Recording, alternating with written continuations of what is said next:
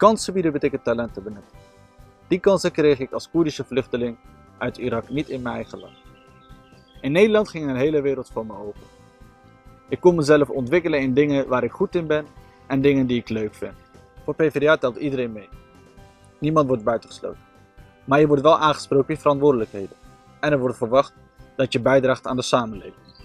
En daarom is Partij van de Arbeid mijn partij.